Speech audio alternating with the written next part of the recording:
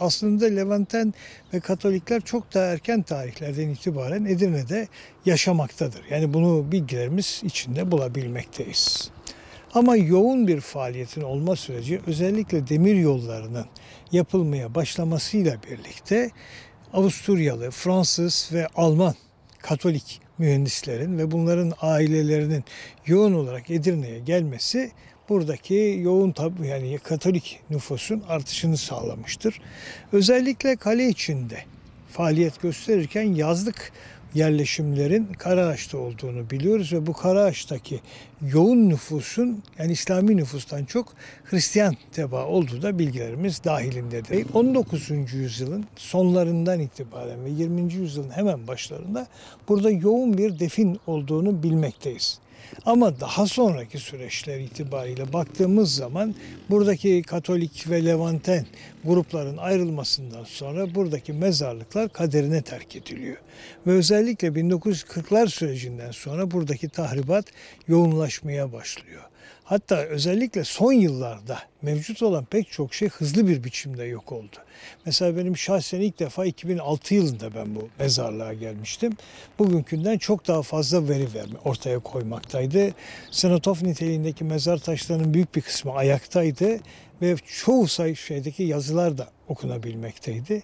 Fakat her geçen gün bunlar da kırıldı ve yok oldu. Şu andaki şekliyle baktığımız zaman tamamen kaderine terk edilmiş vaziyette bir mezarlık alanıyla karşılaşıyoruz. Mezarlık esasında tipik bir Katolik mezarlığı. Katopokomp şeklinde örgütlenmiş birkaç kat oluşturulmuş bir mezarlık. Aşağıda koridorlar etrafında tabutların konması için hazırlanmış nişler mevcuttur. Fakat bütün bu nişlerin açıldığını ve içerideki cesetlerin de tabutların da çıkarıldığını görmekteyiz. Yani aşağıda esasında artık şey olarak da fazla bir şeyin kaldığını sanmıyorum.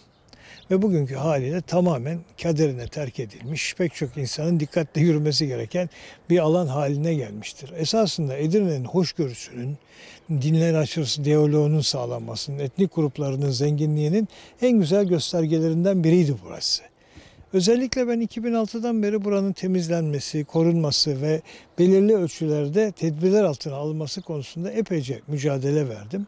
Fakat aynı şekilde burası böyle kalmaya devam etti ve her geçen gün biraz daha yıprandı, biraz daha terk edildi ve şu andaki şekliyle gördüğünüz şekilde zaten hiçbir şey ortada gözükmüyor. Maalesef buradaki Katolik mezarlıklarında cesetlerin altın dişleri ve buna benzeyen bazı şeylerin cesetle birlikte kaldığını biliyoruz.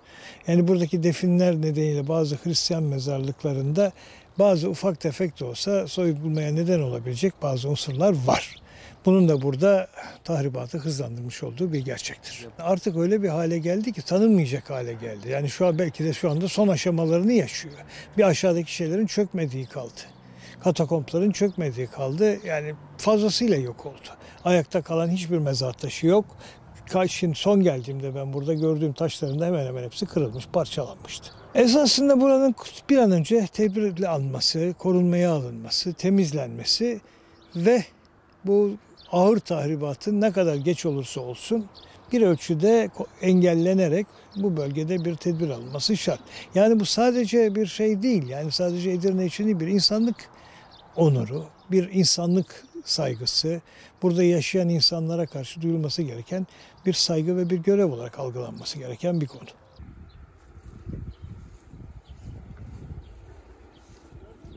Evet hocam.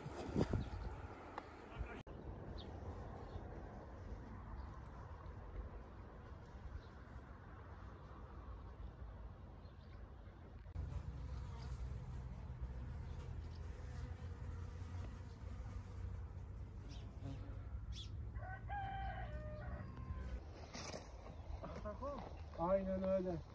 Aynen öyle. Çok kıymetli bir şey aslında ülkemizde ama